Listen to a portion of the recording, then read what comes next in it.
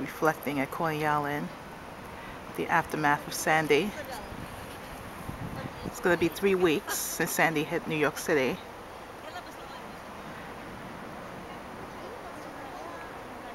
Although the sun is shining down on us, there's still a lot of work that needs to be done. This is still considered my favorite place to reflect. No hurricane will stop that. Coney Island will rebuild.